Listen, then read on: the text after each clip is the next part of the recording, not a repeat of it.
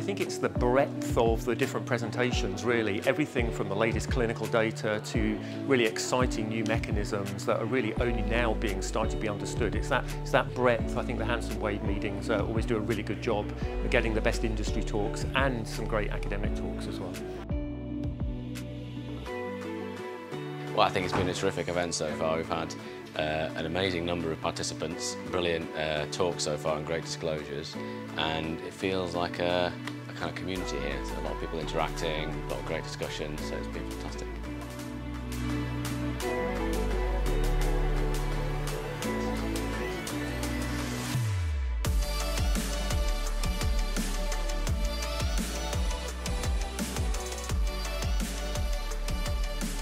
Just seeing the kind of the strength and depth of the speaker faculty from not just the big players and the big pharma, but also startups and, and biotechs coming at things from a different angle and having a different perspective on things. I think it's the sheer scale of the Hanson Wade TPD conference.